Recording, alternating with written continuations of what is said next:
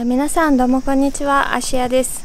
今日はこちら埼玉に来たんですけど、こちらでは盆栽をやってるあるロシア人の方がいらっしゃって、その方にインタビューしに来ました。どうぞ。こんにちは。お名前は何ですか？お名前はアンドレです。アンドレイさん。ロシア出身ですね。ロシアです。はい。でこちらではもう見えるんですけど、盆栽をこちらをやってるんですね。そうです。はい。だからそその盆栽はもう僕の仕事ですね。もう職人に対してもう盆栽作ったり盆栽の手入れをやってます。盆栽職人っていうのそうです。すごいですねロシア人だけど日本で盆栽をやってるすごく珍しいと思いますけどちょっと今日はそれについていろいろお話聞きたいと思いますよろしくお願いしますお願いします。どうして日本に来たんですか？えっともともと生まれ育ちはロシアですねロシアですね。ロシアのどちらですか？えっ、となんだっけ、オラディオストクにああオラディオストクではなくて、まあ、オラディオストクから2時間で離れて、あの、うんあのガリョンキ村って言ってます。村の場所ですね。えー田舎の方です。あじゃあもともとどうして日本に興味を持ったりとかしたんですか？えっ、と、日本は興味なかったんですよね。え？今26なんですけど、うん12歳の頃ってことですね。うんうんうんで、あれはもともと盆栽ですね。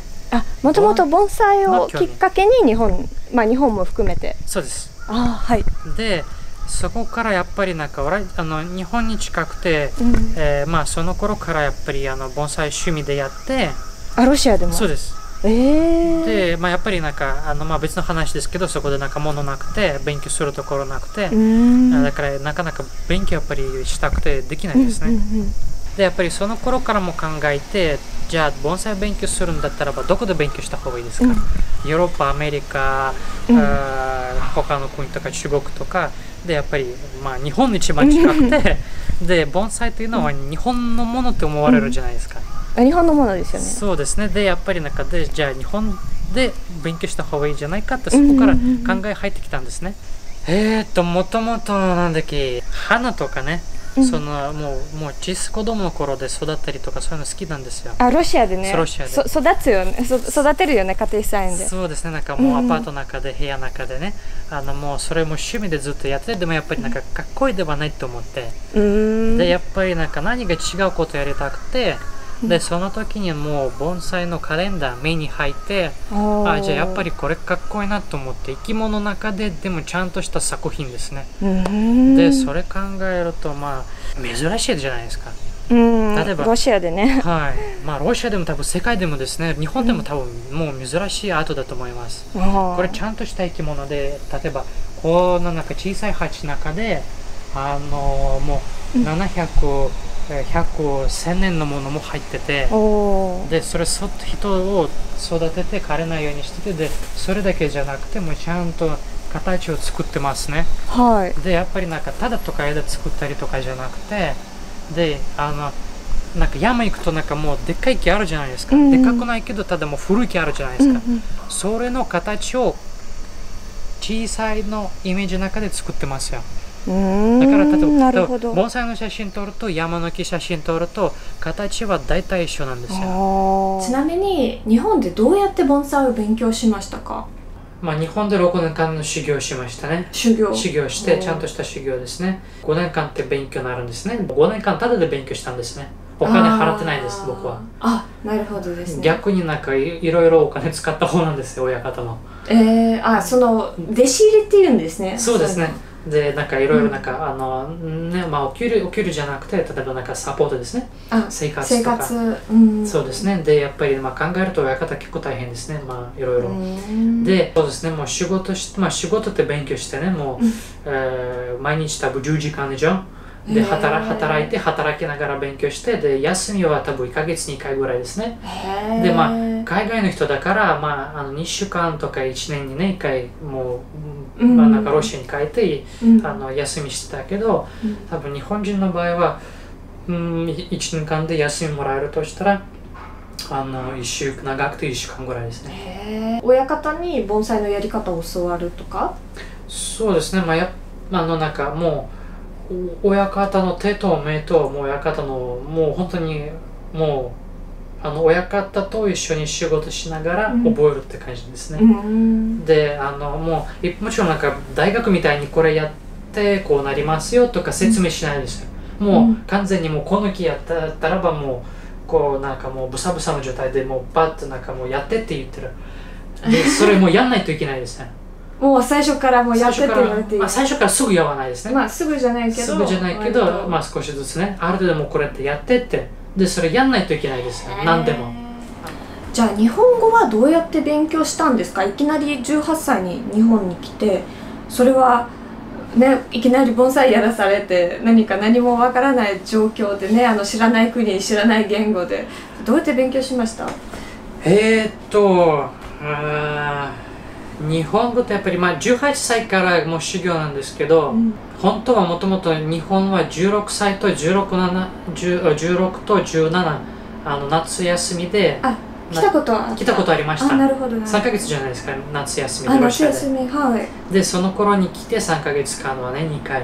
じゃあその1年間でなんかどうにか日本語を覚えろうかなと思ってうん。であの自分なんか田舎の中で多分そういうのなんか日本語の先生いなくてうんで近いの町にいてそこでなんか大学の先生とちゃんとした日本語を勉強しました、あーはい。ただやっぱりななんて言えばその週に2回3回1時間でやって多分あーなかなか覚えられないだと思いますね、うん。で特に僕なんかそこまで勉強する好き人間じゃなかったんですね。多分今ではないかもしれないよね。でやっぱり多分そこである程度基本は覚えておいてひらがなカタカナ。そうですね。それでも今書けないですよね、まあ、もうえあのでそこで勉強してでやっぱりもう日本に来てからもう話して、話しながら覚えるしかなかったんですね。だからなんていうのあの本当にね戦いながらって覚えたんですね。戦いながら。そうですよね。いやその盆栽の仕事を覚えるのも大変だし日本語は通じない時もねそれはもう専門用語だったりなんかあるかもしれないし。あれはねやっぱりね超大変ですよね。うん。多分最初の頃考えると日本語できなくて盆栽もできなくて。うん。でどっちもできないじゃないですか、うん。でそれも仕事できないしまあ勉強なんだけど仕事というのはやっぱり働き的にはもうやっぱりちゃんとした仕事ですね、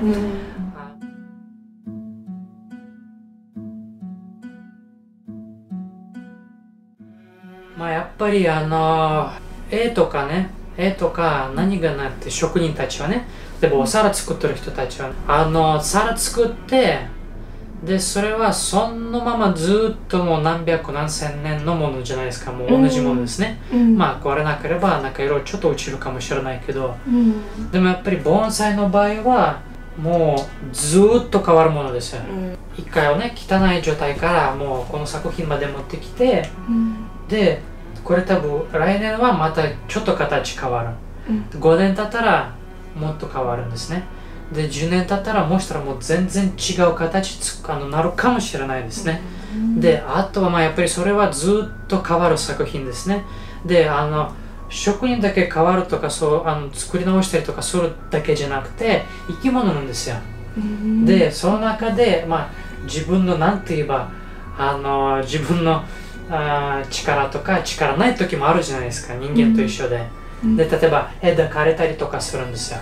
うん。で例えばここでもそっくりバッと枯れた時にでまたあの新しい形作ってまた違う作品になる場合もありますよね、でやっぱりそれは僕の中で一番の楽しみところをそれをお客さんに伝えてほしいんですよ。伝えたいんですね。伝えたい。んですね、でなんかまあもちろんなんか出来上がってる木とかね。でなんかあのそのお客さんから仕事をつけてでそれをきれいにしてでずっとお客さんとねその付き合ってもう毎回毎回もう直したり直したりしててね木をどんどん良くさせてそれをお客さんも楽しみにしててで盆栽も楽しいんですよね。盆栽は自分の世界の中でねうん。ちゃんと水もらってるしちゃんとちゃんと手入れしてるものだからちゃんと元気させてるものだからでやっぱり普通の木よりって場合は楽しいんですよ。木も。そうなんだ。それはやっぱりね一番考えるとお互いは生き物ですね。まあ生き物って。ペットみたいな感じ。ペちょっと。ペットですね。本当のペットなんですよね。うん。でやっぱりはえーっとねただ答えは出ないですね動物になんか痛い痛い痛いことにすればすぐ、うんまあ、なんかあの泣いたりするじゃないですか、うん。で例えばこの木の場合はもう泣くとかじゃなくてあのごめんなさいとこのこと言ったら例えばゆっくり枯れたりとかしたりゆっくりぜ全部枯れてるとかだけじゃなくて例えば枝枝傷んだりとか枯れてるとかね、でそれはあのちゃんと相手相手ね人間は、あのよく見ないとあ木はかわいそうなんですね。うんそれも仕事ですねすごい深いですね。深いよね。でもそれ楽しいんですよ。逆に言ってうねん。えっ、とまあやっまあここで置いてあるのはあの手入れで扱ってあるものです、でまあ簡単と言うとお客さんのものをあの、まあ、長くて1ヶ月ぐらいね。1ヶ月2ヶ月ぐらいつけといてでここでも早めにもう順番でやってきて手入れをしてて、まあ、このもうもうこのあの、まあ、ごめんなさいって言ったらもうあのまだ形削れたところでね形形になってないところからもう形またつける感じですね。で仕事してそれをまたお客さんに返すことですね。ここから多分取ってもらえばある程度あの、まあ、正面から見れる角度が大事 超大事なんですよ。はいそれも作った時も一生懸命考えてますね。でもやっぱりもちろん周りからも考えてるんですね。うんまあこれやっぱりなんか普通は考えると細い木しか多分考えしか入ってこないと思いますね。細い木です、ね、確かに細いですね。ただやっぱりこの細さでもう超古い木なんですよ。これ下手したらまああのまあ700年500年までもしたら行ってないかもしれないけどこのこんだけ古くて皮見るとまあ200ぐらいとかね200300もしたらい持ってる木かもしれないですね。これをなんかもう全体で作った木とかじゃなくてまああのまあ熱熱流れっていうんですね。熱根をつながってるってことですねこれ。ああ根がつながってる。そうです。もう根は一緒ですねこれ。であのまあ幹を一本一本ほとんど特別なんですよね。でその一本のあのもう力をね見して見してを作りながらあの全体で見れるんですねこれ五葉松です五重松はい、もう申し訳ないですけども下で下から一回見せてもらえばもう多分この枝のなんていうのあのうん姿を見えるんだと思いますね。で正面はここで作っといて、まあ、この配に生えててねなんかろ六巻ですね。であの昔、まあ、昔ってねもう何年前、まあ、いたんだけなんですけどもうそれをお客さんでずあの現金させてから僕はつけといてもう新しいか、まあ、新しいっていうかねあの形をつけてくださいってね吹き流しようなねで頼まれたんですよ。であのもうこういうの太いところをねあのもうこんだけ古くて簡単に動かないですよ、もう安全なようにラフィア巻いといてあのなんて言えば人なんか手降りた時なんていうのなんかつけてるじゃないですか。うん包帯みたいな。そうですね。それと一緒なんですけどただこれを折り逆に折りないようにつけてうん。ですですねで後ろの古い方もあの枝を使ってそれをなんかもうちょっと上げて正面から見れるようにしといて、まあ、ポイントポイントね作りながらあの、まあ、改作というか元の形に戻りましたってねただこれもクラシック盆栽ですねな模様着というですねああクラシックな、クラシックですね。まあ、ただもちろんこれ、仕事も大変だったですね。あの、後ろを見るとね、この辺にも枝なくて、ね、もう、後ろからね、反対側からね、同じことやって、ね、うんここからもうこの辺に持ってく、持ってきて、うんで、正面から見ると、ね、またあの、ここ枝なかったんですよ。で、ちゃんと、なんて言えばもう、あの、もうバランス取れてる木を、例えばこうって言ってる木じゃなくて、もうちゃんと左右に、ね、あの、なんて、なんて言えばこれ、バランスがンスはねよく、よく取れるようにうん。作品を、まあ、作仕事しましたね。うんアンドレイさんはねロシアの方で盆栽やってるんですけど例えば周りにその盆栽をやってる外国の方っていらっしゃるんですか？珍しいですか？職人では海外のまあ少ないなんですけど、うん。日本で残ってやってるのは多分ないぐらいですね。何人しかないですね。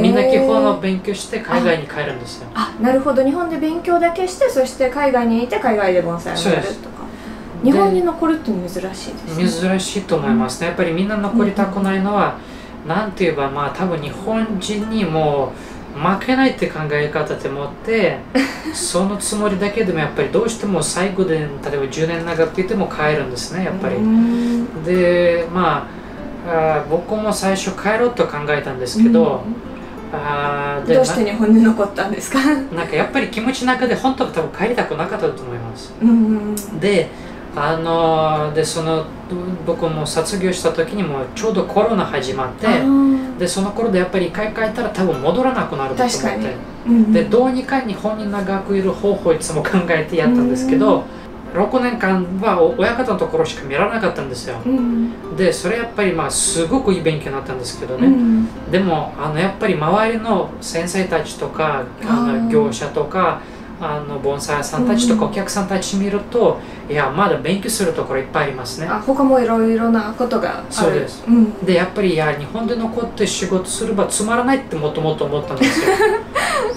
で出ていろいろちょっと見てからあやっぱりつまらないとではなくてあのやっぱりそれをどうしてもちょっと勉強なんかやりたいからやってみようって気持ちをどんどん強くなってきたんですね、でやっぱりまあここまでも多分もう一人やってるのは2年ぐらいですね。うん。うんでもう本当に辛かったんですよ、えーもうどうにかもいろいろやってみてで今もやっぱりもう見るともう仕事もねどんどん頼まれてきてるんですね、そうちなみにそのお客さんっていうのはどんな人が多いですか？海外の人、ね、ロシアの人もいるっておっしゃってましたけど。まあ一番多いのはまあ一番というかねあのまあ多いというのはまあロシア人と日本人日本人ですね、あとまあヨーロッパとかあのタイとかそのアジアの国もと少しずつねあのお客さんとまあやってますけど、でやっぱりロシアの場合はやっぱりあのもう日本であの自分の作品を持っててほしいの方多いですね。ただ海外に外持って帰るとかじゃなくて日本でずっと置きたい置きたいわけですね、で僕はその手入れとメンテナンスでねもうずっと面倒見見るですね。じゃあそのお客さんのものだけどあずっとここにあるってこと？ずっとここに置いてあるえー、なんか馬とかみたいな感じですね。そう。家で勝てないから どこかに自分の馬がいるみたいなあの誰かがお手入れしてるみたいな、ななるほど。いいいい散歩を考えたですね。あれとやっぱり本当に一緒ですね。うん。どうしてもね自分のあの時間なくて、うん。自分のなんかその場所とか場所とかね知識とか。知識とかも、うんあのなんて言えばもうお天気とかもうお天気ってなんかあの向こう寒くてね、うん特にとかお天気合わなくてね、うんそれは一つやってますと、まあ、ずっと扱ってる木なんですね、うん。あのあ1年3年5年10年の木ですね。うん。あの YouTube のチャンネルもありますね。インスタグラあムとかはい、YouTube とインスタありますね、そう。それもあのリンク貼っとくのであの興味ある皆さんあのアンドレイさんの作品盆栽など見れるのであの概要欄に YouTube と Instagram のリンク貼りますのでぜひ見てください。ありがとうございます。面白い話ありがとうございました。私も知らないことだらけでねすごく面白かったんですけどありがとうございました